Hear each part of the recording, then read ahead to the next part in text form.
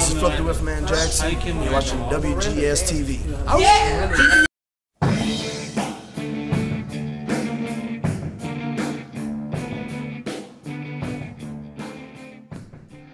Welcome to another installment of WGS TV right here on youtube.com slash WrestleGamer. I'm Double B Billy Boudreaux. Um, first thing I want to uh, let you guys know is if you're wondering where I'm at on this video, um, well, um, I kind of misplaced my webcam. Um, I'm still in the process of looking for it, but, you know, I'm hoping I can find it. If not, I'll just probably run to the store before Monday Night Raw tonight and just, you know, go ahead and get a new one.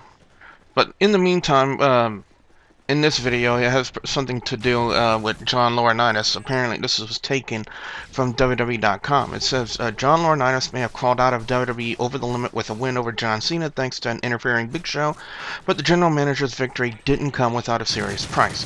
WWE.com has gotten word that Mr. Laurinaitis was rushed to the emergency room from Raleigh, North Carolina's uh, PNC Arena, showing signs of a possible concussion, possible ACL damage to his knee, and possible spinal injury.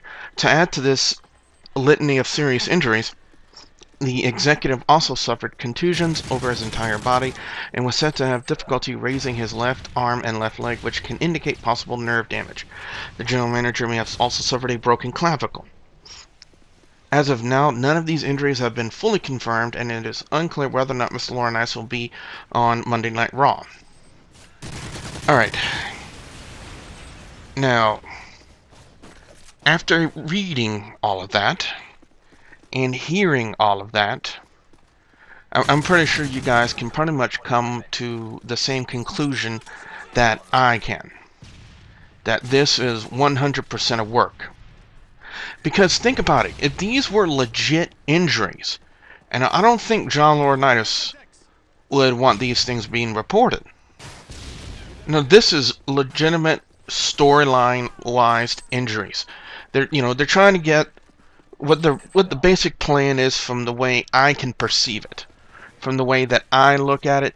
it it's the way it seems. It sounds like they're trying to you know trying to play up to the fact that Laurinaitis is a you know this conquering hero, and even though he conquered, you know, his adversary, it's not without, it didn't come without a price, and that's what he's trying to play up to, uh, and that's what WWE.com is trying to play up to, and uh, you know, that's possibly what we're going to be looking at tonight on Monday Night Raw, is Laurinaitis, you you know, all bandaged, bandaged up, bruised, possible, a wonderful scene with the, uh, you know, the old Kurt Angle neck brace, if you guys remember that, and and or will he will he play the route of doing the Vickie Guerrero wheelchair? I don't know if Vickie Guerrero will call copyright on that, but you know it, it's something we're probably going to be looking at tonight. Is you know Laurinaitis just trying to play up to the crowd that oh I overcome the odds all by myself, even though Big Show was fired and whatnot, and you know that's you know that's something you know. So um, for those of you out there who are wondering, you know, are these injuries to John Laurinaitis legit? You know, if WWE.com reports it, it's storyline wise. I really, I really don't feel, in my personal opinion, that this is legit injuries.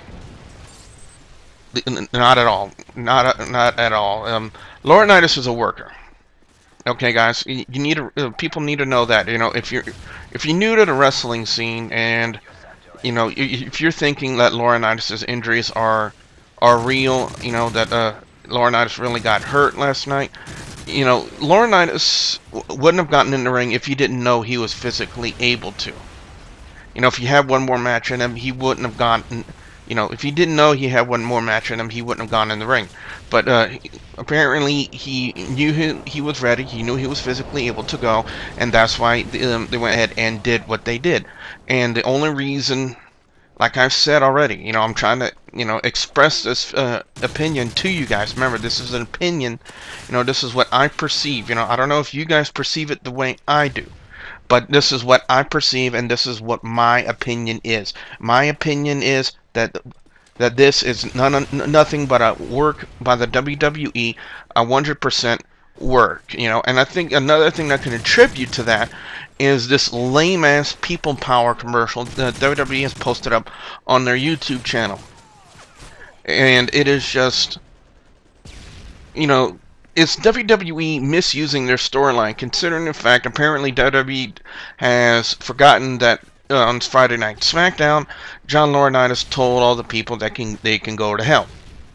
So now they're gonna they're posting up a uh, a little montage, a vignette of sorts, with the whole people power uh, gimmick uh, endorsing. So I, I really don't understand, you know, what was the plan with that either. So two things we're gonna be looking forward to on Monday Night Raw tonight, guys, is one them playing up a, a lot, playing them playing up a lot the injury or injuries of sorts that John Laurinaitis suffered uh, over the limit last night. You notice, uh, you know, if you guys could see me on camera, you would you'd see me doing the whole finger thing when it comes to uh, injuries. And number two, look to see that people power commercial being grossly overplayed. You know, pretty much, you know, any chance or any spot they can put that people power commercial, that people power ad of sorts, they're going to be doing that, and that's what they're going to use, you know, and that's what they're going to use to try to get under everyone's skin. So, um, you know, that's been my thoughts about it. What I want to know is, what are your thoughts in, uh, on this whole thing involving John Laurinaitis? Do you believe his injuries are legit, or do you believe, like me, that it's a work? Be sure you put your comments in the comment section below. Um, don't forget, if you have any questions you'd like to ask me, be sure you visit my FormSpring page, formspring.me slash the WrestleGamer. And also, don't forget to like and favorite this video. And if you haven't yet, please subscribe to youtube.com slash WrestleGamer. Remember, when you get up to 1,000 subscribers, that's when we'll have a WGS TV DVD giveaway. But it only happens at 1,000 subscribers. So, with that being said, I'm Double B Billy Boudreaux, saying thank you very much for watching.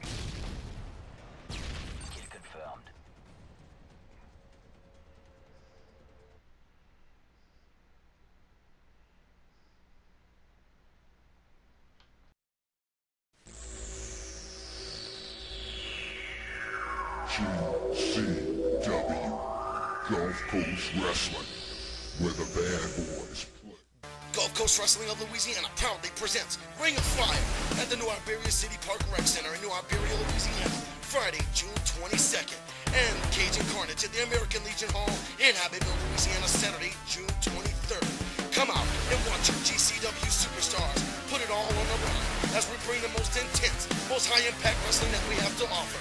Those on the card, Kid Crash, as well as the one and only Green Man, named Mikey Boudreaux. Wolfman Jackson. Another on the line here is the big mother trucker himself, Trucker Jones.